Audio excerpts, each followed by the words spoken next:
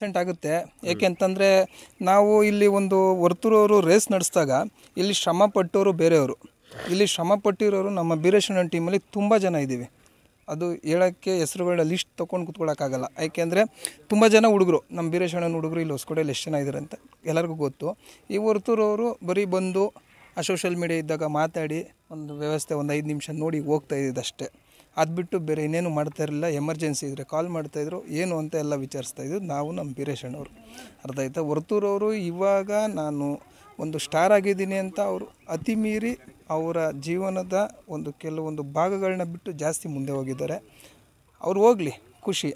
ಆದರೆ ಹತ್ತು ಬಂದಿದ್ದ ಏಣಿನ ಕಾಲಲ್ಲಿ ಒದೆಯೋ ಕೆಲಸ ಮಾಡಬಾರ್ದು. ತನ್ನ ಹಿನ್ನೆಲೆನ ಮರಿಬಾರ್ದು. ತನ್ನ ಹಿನ್ನೆಲೆನ ಮರಿಬಾರ್ದು. ಹಿಂದೆ ಸಪೋರ್ಟ್ ಮಾಡಿದವ್ರನ್ನ ಯಾವತ್ತೂ ಮರಿಬಾರ್ದು. ಇವತ್ತು ಆ ಕೆಲಸನ ಅವ್ರು ಮಾಡ್ತಾ ಇದ್ದಾರೆ. ಅವ್ರಿಗೆ ಹೇಳಿ ಇದೆಲ್ಲ ಅವ್ರ ಜೀವನಕ್ಕೆ ಒಳ್ಳೇದಲ್ಲ. ತುಂಬ ಕೆಟ್ಟದಾಗೂ ಪರಿಣಾಮ ಆಗುತ್ತೆ. ಅವ್ರಿಗೆ ಇದೆಲ್ಲ ಬೇಡ. ಈಗ ಗಟ್ಟಿ ಕಾಳು ಉಳ್ಕೊಳ್ಳುತ್ತೆ. ಗಟ್ಟಿ ಕಾಳು ಉಳ್ಕೊಳ್ಳಿ ಗಾಳಿ ಹಾರ್ಕೊಂಡು ಹಾರ್ಕೊಂಡು ಹೋಗುತ್ತೆ. ಓಕೆ ಇದು ಅನ್ವಯ ಆಗುತ್ತಾ? ಹಂಡ್ರೆಡ್ ಪರ್ಸೆಂಟ್ ಅನ್ವಯ ಆಗುತ್ತೆ. ಅದಕ್ಕಿಂತ ಬೇರೆ ಖುಷಿನೇ ಇಲ್ಲ. ನಾವು ಬೆನ್ಸ್ಕಾರ ಓಡಾಡಿದ್ರು ಅಷ್ಟು ಖುಷಿ ಆಗಲ್ಲ. ಏನೋ ನಾವು ಊಟಕ್ಕಿಂತ ಮುಂಚೆನೇ ನಮ್ಮ ತಾತ ಮುತ್ತಾತ ಕಾಲಂಗೂ ನಮ್ಮ ತಂದೆ ಸಾಕ ಬಂದವ್ರೆ.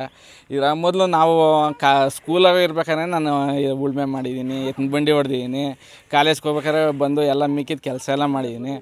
ಏನಂದರೆ ಇವಾಗ ಏನಂದರೆ ನಮ್ಮ ಯೂತ್ಸು ಎಲ್ಲ ಈ ಟ್ಯಾಕ್ಟ್ರಿ ಆ ಥರ ಓದ್ತಾ ಇದ್ದಾರೆ. ನಮ್ಮ ಹಳ್ಳಿಕರನ್ನ ಜಾಸ್ತಿ ಬಳಸ್ತಾ ಇಲ್ಲ. ಈಗ ನಮ್ಮ ಜವಾಬ್ದಾರಿ ಅಲ್ವಾ?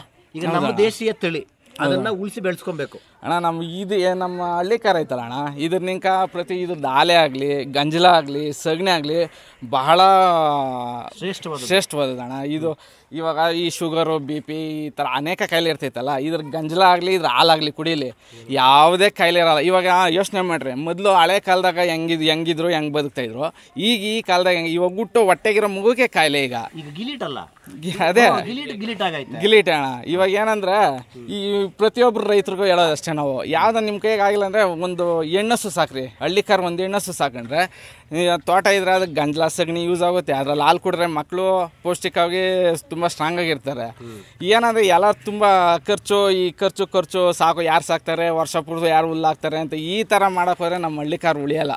ಓಕೆ ಅದನ್ನ ಉಳಿಸಿ ಬೆಳೆಸ್ಬೇಕು ನಾವೇ. ಉಳಿಸಿ ಬೆಳೆಸ್ಬೇಕಣ್ಣ. ಏನು ಇತ್ತೀಚೆಗೆ ಏನೋ ಅವರ ಆಪ್ತರಿಗೆ, ಸ್ನೇಹಿತರಿಗೆ, ಕೆಲವರು ಏನೋ ತುಂಬ ದೊಡ್ಡವ್ರ ಸ್ನೇಹಿತರಿಗೆಲ್ಲ ಬ್ಲ್ಯಾಕ್ ಮೇಲ್ ಮಾಡೋದು. ಮತ್ತು ನಿಮಗೂ ಸಹ ನೀವು ಬೀರೇಶ್ವರ ಬೆಂಬಲಿಗರಾಗಿದ್ದೀರಿ, ಸ್ನೇಹಿತರಾಗಿದ್ದೀರಿ ಅಂತೇಳಿ ನಿಮಗೂ ಸಹ ಬ್ಲ್ಯಾಕ್ ಮೇಲ್ ಮಾಡೋದು.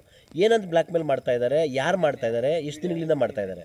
ಹೊರ್ತು ಸಂತೋಷ ಅವರು ಮೊನ್ನೆ ನಾವು ಪ್ರೆಸ್ ಮೀಟ್ ಕರೆದಾಗ ಅವತ್ತು ನಾವು ಮಾತಾಡಿದ್ವಿ. ಆದಂಥ ನಮ್ಮ ಯಲಂಕ ಮಂಜು ಅವರು ಒಂದು ಪೋಸ್ಟ್ ಮಾಡಿದ್ವಿ ನಮ್ಮದೊಂದು ಅದಾದಮೇಲೆ ನನ್ನ ನಂಬರು ಹೇಗೋ ಸಿಕ್ಕಿ ಅವರು ಫೋನ್ ಮಾಡಿಬಿಟ್ಟು ನಾವು ಅಣ್ಣನ ಕಡೆಯವರು ನೀನೇನು ಕಣ್ಣನ ಬಗ್ಗೆ ಮಾತಾಡ್ತಾ ಇದೆಯಾ? ನೀನು ಶೆಡ್ಗೆ ಹಾಕ್ತಿದ್ದಿ ಸಾಯಿಸ್ತಿದಿ ಆ ಥರ ಕೊಲೆ ಬೆದರಿಕೆಗಳು ತಿರ್ಗಿ ಆಮೇಲೆ ನೀನು ಸಿಗೋ ಎಲ್ಲಾದ್ರೂ ನಾವು ನಿನ್ನ ಇದು ಮಾಡ್ತೀವಿ ಆಗ ಮಾಡ್ತೀವಿ ಈಗ ಮಾಡ್ತೀವಿ ಅಣ್ಣನ ಬಗ್ಗೆ ಮಾತಾಡ್ತೀಯ? ನಿಂಗೆ ಎಷ್ಟು ಧೈರ್ಯ? ಯಾರಣ್ಣ? ಹೊರ್ತು ಸಂತೋಷ ಅವರು. ಅವ್ರಿಗೆ ಅಣ್ಣ ಅಂತೆ. ಅರುಣ್ ಛಲ ಅಂದ್ಬಿಟ್ಟು ಅವ್ರದ್ದು ನಂಬರ್ ಸಮೇತ ನನ್ನ ಹತ್ರ ಇದೆ ಫೋನಲ್ಲಿ ಅದೇ ರೀತಿಯಲ್ಲಿ ಒಂದು ಅವನ ಒಂದು ನಾಲ್ಕೈದು ನಂಬರು ಹಿಂದಿ ಅವ್ರದ್ದಾಗಿರ್ಬೋದು ಬೇರೆ ಬೇರೆ ಭಾಷೆಗಳವ್ರದ್ದು ಫೋನುಗಳು ಇಸ್ಕೊಂಡು ನನಗೆ ಫೋನ್ ಮಾಡೋದು. ತಿರ್ಗ ಬೆದರಿಕೆ ಕರೆಗಳು ತುಂಬ ನನಗೆ ದಿನನಿತ್ಯ ನಿನ್ನ ಶೆಡ್ಗೆ ಹಾಕ್ತೀರಿ ಸಾಯಿಸ್ತೀರಿ ನೀನು ಇದೇ ಥರ ಮಾಡ್ರೆ ನಿನ್ನ ಏನೋ ಮಾಡ್ತೀವಿ ನಾವು. ಎಲ್ಲನ ಸಿಕ್ಕು. ಶೆಡ್ಗೆ ಹಾಕಿ ತೊಂದರೆ ಮಾಡಿರೋ ಎಲ್ಲಿದ್ದಾರೆ ಗೊತ್ತಾ? ಅದು ಗೊತ್ತು? ಅವ್ರಿಗೆ ಗೊತ್ತಾಗಿಲ್ಲ ಇನ್ನು. ಆ ರೀತಿಯಲ್ಲಿ ನಮಗೆ ಬೆದರಿಕೆಗಳು ಕೊಡ್ತಾ ಇದೆ ದಿನನಿತ್ಯ.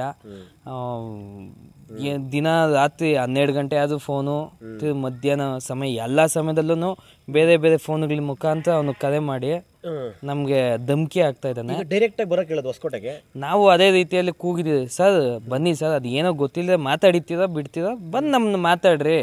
ಇಲ್ಲ ನಾವು ಏನಾದರೂ ಮಾತಾಡ್ಬೋದಲ್ಲ? ಬನ್ನಿ ನಿಮ್ಮ ಗೊಟ್ಟು ಬೆದರಿಕೆಗೆಲ್ಲ ನಾವು ಬೆದರಲ್ಲ. ಯಾಕೆಂದ್ರೆ ಅಲ್ಲಿರೋದು ನಿಮ್ಮ ಅಣ್ಣನೋ, ಅಕ್ಕನೋ, ಇನ್ನೊಬ್ರು ನಮ್ಗೆ ಗೊತ್ತಿಲ್ಲ. ಅದಕ್ಕೆ ನಾವು ತಲೆ ಕೆಡ್ಸ್ಕೊಂತಲ್ಲ ಬನ್ನಿ. ಹೊಸಕೋಟೆ ಏನೋ ಸೂಕ್ಷ್ಮೆಯಾಗಿ ನೀವು ತಗೊಬೇಕು. ನೀವು ಬನ್ನಿ, ಇಲ್ಲಿ ನೋಡಿ ಬನ್ನಿ. ಹೊಸಕೋಟೆ ಅಂದ್ರೆ ಏನು ಅಂತ ಎತ್ತ ಅಂತ ನಿಮ್ಗೆ ಹೊಸಕೋಟೆನೋ ಇಲ್ಲ ಅಥವಾ ಅವರು ಯಾವ ಜಾಗದಲ್ಲಿದೆ ಅಲ್ಲಿ ಕೂಗಿದ್ರು ನಾವು ಬರ್ತೀವಿ.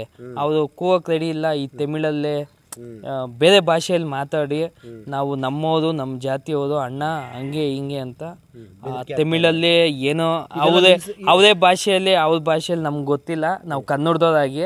ಹಾಗಾಗಿ ಅವರು ಭಾಷೆಯಲ್ಲಿ ಏನೇನೋ ಪದಗಳು ನಮಗೆ ಗೊತ್ತಿಲ್ಲ ವಿಂಗಡಣೆ ಮಾಡ್ತಾ ಇದ್ದಾರೆ. ಹಾಗಾಗಿ ನಂಬಿಕೆ ಇದೆಲ್ಲ ನಿಲ್ಬೇಕಾ ಹೇಗೆ? ಇದೆಲ್ಲ ನಿಲ್ಬೇಕು ಸರ್. ಯಾಕೆ ಅಂದ್ರೆ ಅವ್ರದ್ದು ಅಟ್ಟ ಮುಗಿಲು ಮುಟ್ತಾ ಇದೆ. ಹಾಗಾಗಿ ಹೊಸಕೋಟೆಯನ್ನು ಏನೋ ಕೇರ್ಲೆಸ್ ತಗೊಂಬಿಟ್ಟಿದ್ದಾರೆ. ನಮ್ಮ ಬೀರೇಶ್ ಅಣ್ಣವ್ರನ್ನೆಲ್ಲ ಬೇರೆ ರೀತಿಯಲ್ಲಿ ಅವ್ರು ನೋಡ್ತಾ ಇದ್ದಾರೆ. ಅವ್ರಿಗೆ ಇನ್ನೂ ಗೊತ್ತಿಲ್ಲ ಹೊಸಕೋಟೆ ಏನು ಎತ್ತ ಅಂತ. ಇಲ್ಲಿನ ಇತಿಹಾಸ ಅವ್ನಿಗೆ ಗೊತ್ತಿಲ್ಲ. ಇಲ್ಲಿ ಜಿದ್ದು ಹೇಗಿದೆ ರಾಜಕೀಯ ಆಗಿರ್ಬೋದು ಜಾತಿವಾಗಿ ವಾದ ಆಗಿರ್ಬೋದು ಇಲ್ಲಿ ಪ್ರತಿಷ್ಠೆಗಾಗಿ ಹೋರಾಟ ಮಾಡಿದವ್ರು ದುಡ್ಡು ಕಾಸು ಹಣಕಾಸುಗಾಗಿ ಹೋರಾಟ ಮಾಡಿದವರಲ್ಲ ಇಲ್ಲೆಲ್ಲ. ಇಲ್ಲೆಲ್ಲ ಪ್ರಾಣ ಅದೇ ಹೊಡ್ತು ಈ ಪ್ರತಿಷ್ಠೆಗಾಗಿ ಅವ್ರು ಏನೋ ಸೂಕ್ಷ್ಮೆಯಾಗಿ ತಗೊಂಡಿದ್ದಾನೆ. ಓಕೆ ಅವ್ನ್ ನಾವು ಏನ್ ಕೂಗ್ತಲ್ಲ ಸರ್ ಅವ್ರು ಇರೋ ಕಡೆ ಆದ್ರೂ ನಾವು ಬರ್ತಿದೆ. ಕ್ಷಮೆ ಅದು ಏನಾದ್ರೂ ಅವ್ನ ಅಡ್ರೆಸ್ ಹೇಳಕ್ಕೂ ರೆಡಿ ಇಲ್ಲ ಅವನು. ಯಾವ್ದೋ ಊರುಗಳ ಕಡೆ ಹಾಸನ ಕಡೆ ಬಾ ಬೆಂಗಳೂರು ಕಡೆ ಬಾ ಅಲ್ಲಿ ಬಾ ಇಲ್ಲಿ ಬಾ ಎಲ್ಲಾ ಕಡೆನೂ ಶೆಡ್ ಬಾ ಅಂತಾನೆ ಕೂಗ್ತಾನೆ ಹೊರ್ತು. ಅವ್ನು ಇರೋ ಜಾಗಕ್ಕೆ ನಮ್ಮನ್ನ ಕೂಗ್ತಾ ಇಲ್ಲ.